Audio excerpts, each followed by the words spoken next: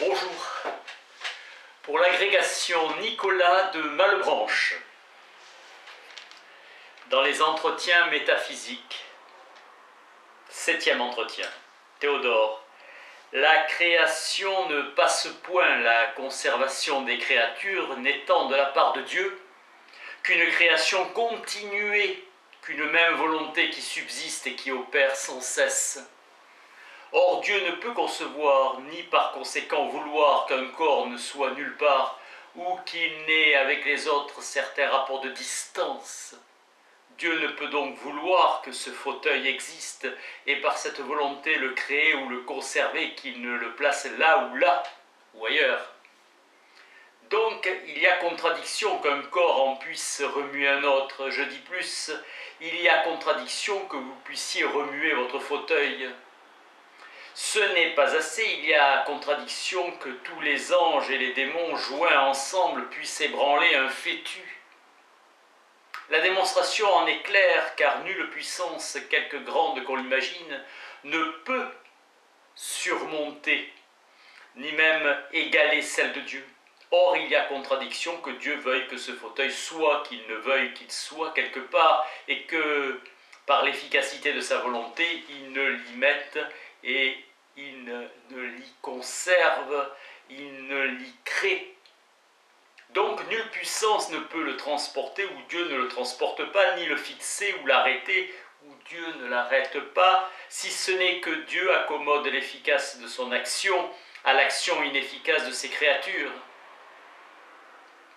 C'est ce qu'il faut vous expliquer pour accorder la raison avec l'expérience et pour vous donner l'intelligence du plus grand, du plus fécond et du plus nécessaire de tous les principes, qui est que Dieu ne communique sa puissance aux créatures et ne les unit entre elles que parce qu'il établit leur modalité cause occasionnelle, des effets qu'il produit lui-même cause occasionnelle, dis-je, qui détermine l'efficace de ses volontés en conséquence des lois générales qu'il s'est prescrites, pour faire porter à sa conduite le caractère de ses attributs et répandre dans son ouvrage l'uniformité d'action nécessaire pour en lier ensemble toutes les parties qui le composent, et pour le tirer de la confusion et de l'irrégularité d'une espèce de chaos où les esprits ne pourraient jamais rien comprendre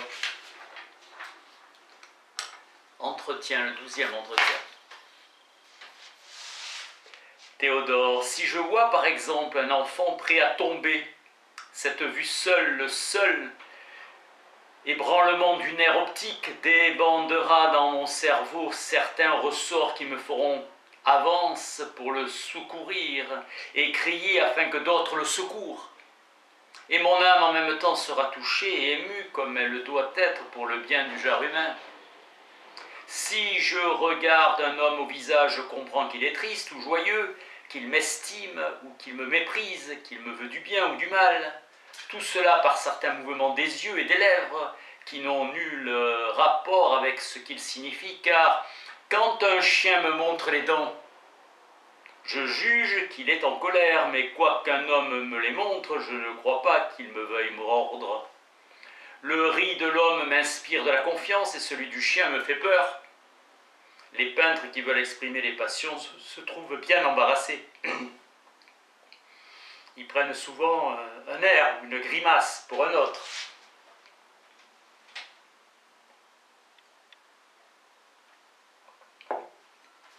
Mais lorsqu'un homme est animé de quelque passion, tous ceux qui le regardent le remarquent bien, quoiqu'ils ne remarquent peut-être point si ses lèvres se haussent ou se baissent, si son nez s'allonge, se retire, si ses yeux s'ouvrent, se forment, c'est que Dieu nous unit ensemble par les lois de l'union de l'âme et du corps.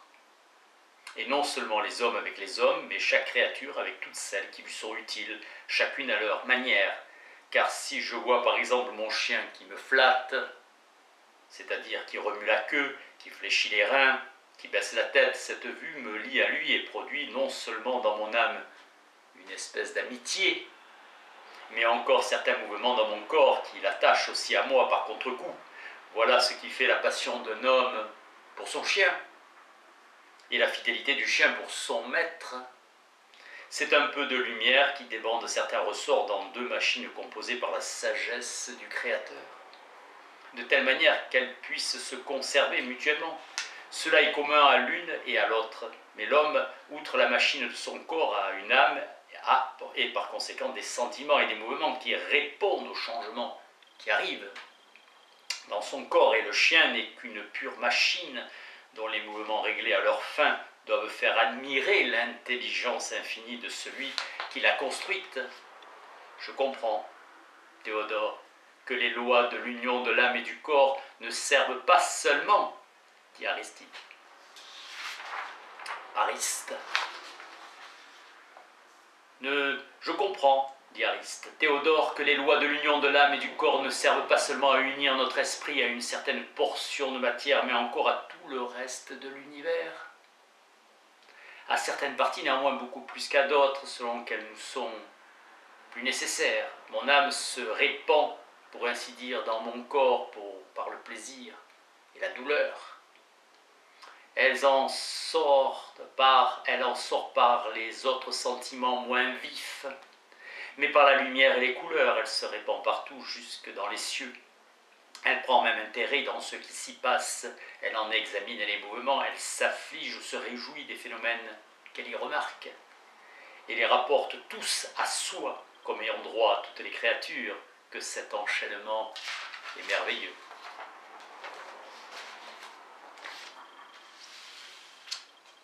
Dans la recherche de la vérité.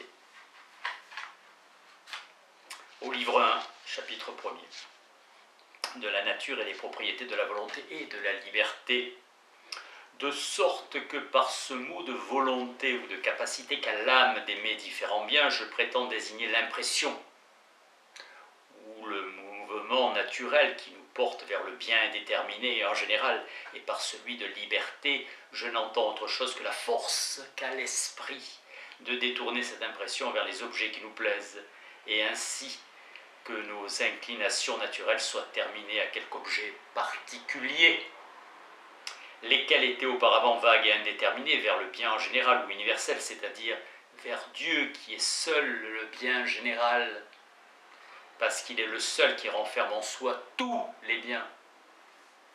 D'où il est facile de reconnaître que, quoique les inclinations naturelles soient volontaires, elles ne sont toutefois pas libres de la liberté d'indifférence dont je parle, qui renferme la puissance de vouloir, ou de ne pas vouloir, ou bien de vouloir le contraire de ce à quoi nos inclinations naturelles nous portent. Car quoi que ce soit volontairement et librement, ou sans contrainte que l'on aime le bien en général, puisqu'on ne peut aimer que par sa volonté et qu'il y a contradiction, que la volonté puisse jamais être contrainte, on ne l'aime pourtant pas librement dans le sens que je viens d'expliquer puisqu'il n'est pas au pouvoir de notre volonté de ne pas souhaiter d'être heureux. Mais il faut bien remarquer que l'esprit considéré comme poussé vers le bien en général ne peut déterminer son mouvement vers un bien particulier si le même esprit considéré comme capable d'idées n'a la connaissance de ce bien particulier, je veux dire pour me servir des termes ordinaires que la volonté est une puissance aveugle qui ne peut se porter qu'aux choses que l'entendement lui représente, de sorte que la volonté ne peut déterminer diversement l'impression qu'elle a pour le bien et toutes ses inclinations naturelles qu'en commandant à l'entendement de lui représenter quelque objet particulier. La force qu'a notre âme de déterminer ses inclinations renferme donc nécessairement celle de pouvoir porter l'entendement vers les objets qui lui plaisent.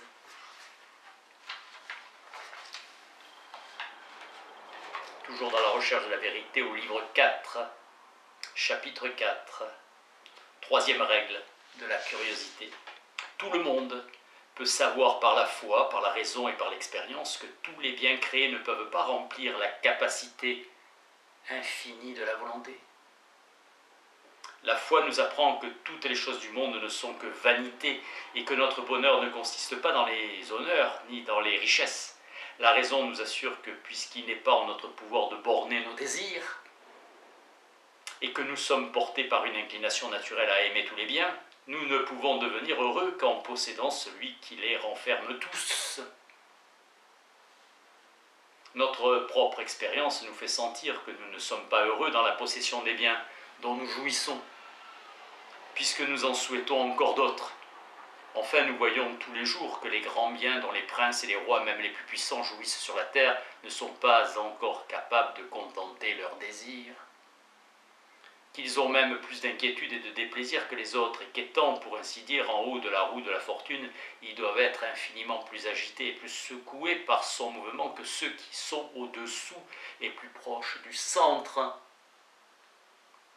Car enfin, ils ne tombent jamais que du haut, ils ne reçoivent jamais que de grandes blessures, et toute cette grandeur qui les accompagne et qui s'attache à leur être propre ne fait que les grossir et les étendre, afin qu'ils soient capables d'un plus grand nombre de blessures et plus exposés au coup de la fortune. La foi donc, la raison et l'expérience nous convainquant que les biens et les plaisirs de la terre desquels nous n'avons point encore goûté ne nous rendraient pas heureux quand nous les posséderions, nous devons bien prendre garde, selon cette troisième règle, à ne pas nous laisser sottement flatter d'une vaine espérance de bonheur, laquelle, s'augmentant peu à peu à proportion de notre passion et de nos désirs, se changerait à la fin en une fausse assurance. Car lorsqu'on est extrêmement passionné pour quelque bien, on ne l'imagine toujours, on se l'imagine toujours très grand, et l'on se persuade même insensiblement qu'on sera heureux quand on le possédera.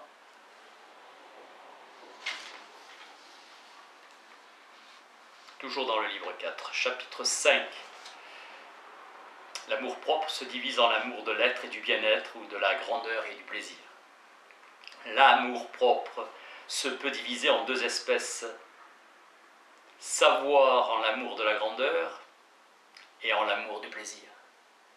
Ou bien en l'amour de son être et de la perfection de son être et en l'amour de son bien-être ou de la félicité. Par l'amour de la grandeur, nous affectons la puissance, l'élévation, l'indépendance, et que notre être subsiste par lui-même. Nous désirons en quelque manière d'avoir l'être nécessaire. Nous voulons en un sens être comme des dieux. Car il n'y a que Dieu qui est proprement l'être et qui existe nécessairement, puisque tout ce qui est dépendant n'existe que par la volonté de celui dont il dépend. Les hommes sont donc, souhaitant la nécessité de leur être, souhaitent aussi la puissance et l'indépendance qui les mettent à couvert de la puissance des autres. Mais par l'amour du plaisir, ils désirent non pas simplement l'être, mais le bien-être, puisque le plaisir est la manière d'être qui est la meilleure et la plus agréable à l'âme. Je dis le plaisir précisément en tant que plaisir. De sorte que si l'on prend le plaisir en général, en tant qu'il contient les plaisirs raisonnables, aussi bien que les sensibles, il me paraît certain que c'est le principe ou le motif unique de l'amour naturel ou de tous les mouvements de l'âme vers quelque bien que ce puisse être, car on ne peut aimer que ce qui plaît. Si les bienheureux aiment les perfections divines, Dieu tel qu'il est, c'est que la vue de ces perfections leur plaît car l'homme étant fait pour connaître et aimer Dieu, il fallait que la vue de tout ce qui est parfait nous fît plaisir. Il faut remarquer que la grandeur, l'excellence et l'indépendance de la créature ne sont pas des manières d'être qui la rendent plus heureuse par elle-même, puisqu'il arrive souvent qu'on devient misérable à mesure qu'on s'agrandit. Mais pour le plaisir, c'est une manière d'être que nous ne saurions recevoir actuellement sans devenir actuellement plus heureux. Je ne dis pas solidement heureux. La grandeur et l'indépendance, le plus souvent, ne sont point en nous et elles ne consistent d'ordinaire que dans le rapport que nous avons avec les choses qui nous, qui nous environnent. Mais les plaisirs sont dans l'âme même et elles en sont des manières réelles qui la modifient et qui, par leur propre nature, sont capables de la contenter. Ainsi, nous regardons l'excellence, la grandeur et l'indépendance comme des choses propres pour la conservation de notre être, et même quelquefois comme fort utiles, selon l'ordre de la nature, pour la conservation du bien-être. Mais le plaisir est toujours la manière d'être de l'esprit qui, par elle-même, le rend heureux. Et s'il est solide, le rend parfaitement content, de sorte que le plaisir et le bien-être, et l'amour du plaisir, l'amour du bien-être,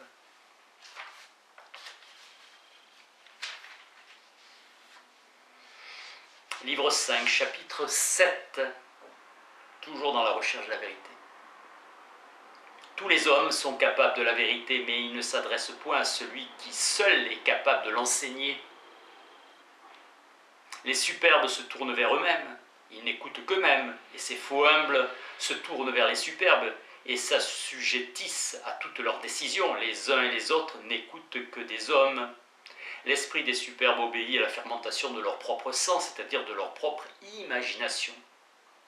L'esprit des faux humbles se soumet à l'air dominant des superbes.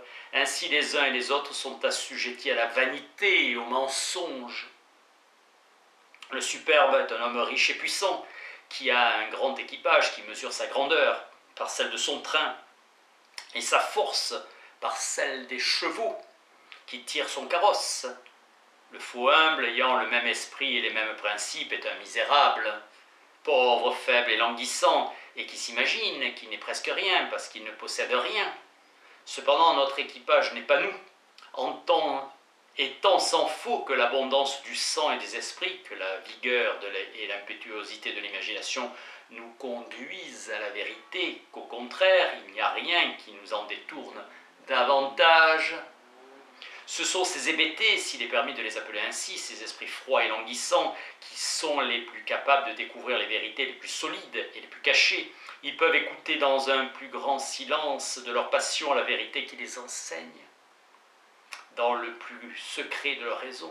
Mais malheureusement pour eux, ils ne pensent point à s'appliquer à ces paroles.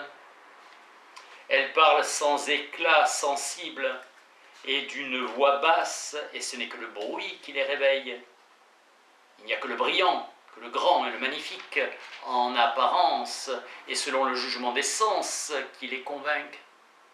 Ils se plaisent à se laisser éblouir, ils aiment mieux entendre ces philosophes qui ne racontent que leurs visions et leurs songes, et qui assurent comme les faux prophètes que la vérité leur a parlé lorsque la vérité ne leur a point parlé, que d'entendre la vérité même. Il y a plus de quatre mille ans que l'orgueil humain leur débite des mensonges sans qu'ils s'y opposent. Il les respecte même et les conserve comme des traditions saintes et divines. Il semble que le Dieu de la vérité ne soit plus avec eux, ils ne pensent plus à lui, ils ne le consultent plus, ils ne méditent plus, et ils couvrent leur paresse et leur nonchalance des apparences trompeuses d'une sainte humilité. Dernier extrait. Dans le quinzième éclaircissement de la recherche de la vérité quand je vois une boule qui en choque une autre, mes yeux me disent ou semblent me dire qu'elle est véritablement cause du mouvement qu'elle lui imprime, car la véritable cause qui me les corps ne paraît pas à mes yeux. Mais quand j'interroge ma raison, je vois évidemment que les corps ne pouvant se remuer eux-mêmes, et que leur force mouvante n'étant que la volonté de Dieu qui les conserve successivement en différents endroits, ils ne peuvent communiquer une puissance qu'ils n'ont pas et qui ne pourraient pas même communiquer quand elle serait à leur disposition, car l'esprit ne concevra jamais qu'un corps substance purement passive, puisque transmettre dans un autre la puissance, dans un autre la puissance qui le transporte, quoi que ce puisse être. Quand j'ouvre les yeux, il me paraît évident que le soleil est tout éclatant de lumière, que non seulement il est visible par lui-même, mais qu'il rend visible tous les corps qui l'environnent que c'est lui qui couvre la terre de fleurs et de fruits, qui donne la vie aux animaux et qui, pénétrant même par sa chaleur jusque dans les entrailles de la terre, il produit les pierres, les marbres et les métaux. Mais quand je consulte la raison, je ne vois rien de tout cela. Et lorsque je la consulte fidèlement, je reconnais clairement que mes sens me réduisent et que c'est Dieu qui fait tout en toutes choses. Car sachant que tous les changements qui arrivent dans les corps n'ont point d'autre principe que les différentes communications des mouvements qui se font dans les corps visibles ou invisibles, je vois que c'est Dieu qui fait tout, puisque c'est sa volonté qui cause et sa sagesse qui règle toutes ces communications. Merci.